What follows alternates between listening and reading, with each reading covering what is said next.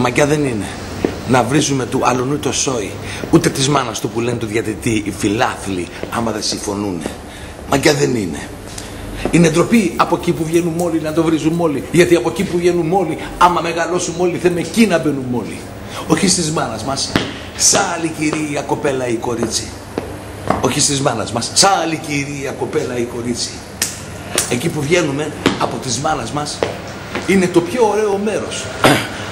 Άμα σου τύχει καλό. Είναι το πιο ωραίο μέρος.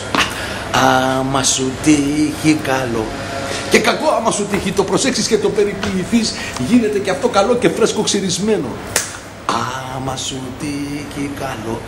Καλό και φρέσκο ξυρισμένο. Yeah. Από εκεί γεννιόμαστε όλοι. Και φτωχοί και με γεμάτο πορτοφόλι. Και οι άντρες και οι γυναίκες και οι γκέι.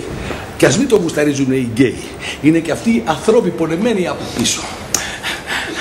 Αυτοί το διάλεξαν, δεν μπαίνει στο δικό μας. Με τον καιρό όμως τρώνει, δεν πονάει, δεν πληγώνει.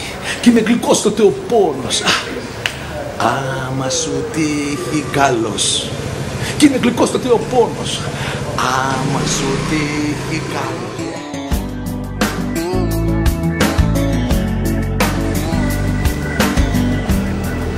Από τον καιρό που άρχισα να θυμάμαι τον εαυτό μου συνειδητοποίησα ότι οι άνθρωποι χωρίζονται σε αυτούς που παρατηρούν και σε αυτούς που δεν παρατηρούν. Εγώ είμαι από αυτούς που παρατηρούν. Μια φορά ήταν γύρω στο 1975 ήμουνα σχεδόν ελικιωμένος, δηλαδή είχα κλείσει τα 18 και ήταν ένας ε, τυφλός, ένας τυφλός κάτω από τον ηλεκτρικό σταθμό του Αγίου Νικολάου. Το λέγανε Γιάννη. Πολλές φορές ο άνθρωπος αυτός έπαιζε και ένα κορδέο. Ενίοτε έπαιζε φλογέρα. Άλλη φορά κιθάρα. Και υπήρχε ένα σύγκινο ποτηράκι, πιατάκι, όπως θέλετε να το πείτε, από όπου περνάγανε οι διαβάτες και του αφήνανε κάποια φράγκα. Δραχμές, δίφραγκα, κανένα τάλιρο και σε πολύ ξεχωριστές περιπτώσεις κανένα εικοσάρικο. Εκεί οι αλυτάμπορε της ε, των πατησίων της γειτονιάς πολλές φορές πηγαίνανε και παίρνανε ε, τα χρήματα χωρίς να τα καταλάβει ο τυφλός. Το θεωρούσα πολύ μεγάλο ατόπιμα όταν ένας άνθρωπος δεν βλέπει να αγοράζεις την έλλειψή του και να του κλέβεις και τα λεφτά του. Αυτό ήταν μια παρατήρηση που με έκανε διαφορετικό άνθρωπο. Δηλαδή έμπαινα σε μια διαδικασία να σκεφτώ ότι συνυπάρχω με ανθρώπους που λογικά δεν θα έπρεπε να συνυπάρχω. Όταν του τόπα του τυφλού ε, αυτό που συνέβη, αυτός χαμογέλασε και είπε εντάξει μπορεί και να τα χρειάζονται τα χρήματα. Τρομερή, θεωρώ τρομερή ιστορία απάνθρωπη για να πούμε στην ισορροπία της ανθρωπιάς μας.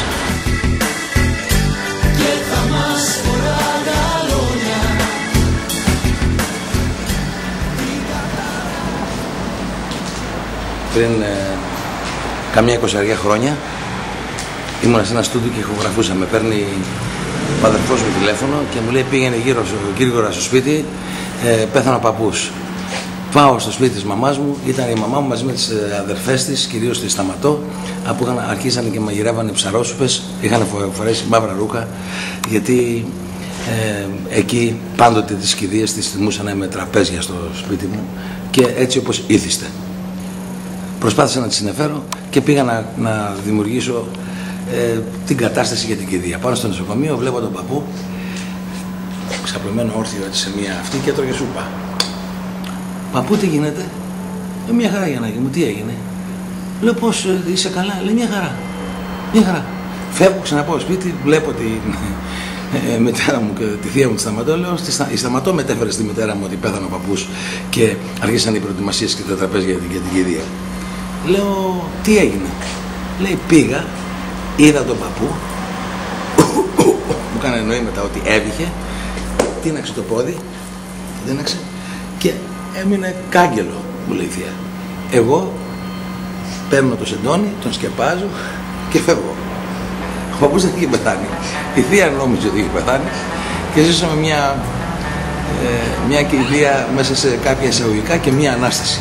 Όταν όμως πέθανε ο παππούς, και πραγματικά μετά από κάποια άλλα χρόνια πήγαμε πάλι εγώ αγκαλιά με τη μαμά να την παρηγορήσω. Ο παππούς βέβαια είχε συμπληρώσει αισίως έναν αιώνα και πήγαμε η μαμά δίπλα και εγώ συγκινημένος, ο παππούς μου ήταν, ζήσαμε πάρα πολλά χρόνια, αλλά της μάνας μου ήταν ο πατέρας της.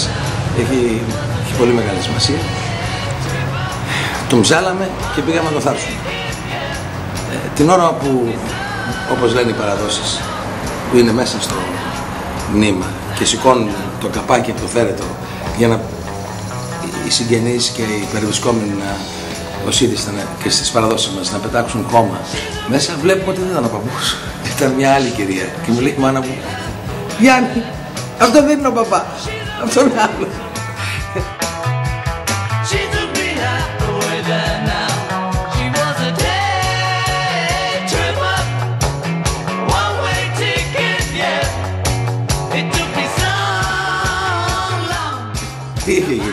Εμείς όταν πήγαμε, πήγαμε εκεί στο νεκροταφείο, στα καμαράκια που έχουμε τους ε, νεκρούς, στη φωτογραφία. Η φωτογραφία, από ό,τι φάνηκε στο τέλος, δεν, ήταν η φωτο- δεν είχε μέσα τον παππού, είχε μια άλλη κυρία. Και να με δεις εμένα να τρέχω στην επόμενη κυρία, να τους λέω ότι ξέρετε μάλλον ότι εδώ δεν είναι η μητέρα σας που κλαίτε, είναι ο παππούς μου. Λέει αφού αφήστε μας με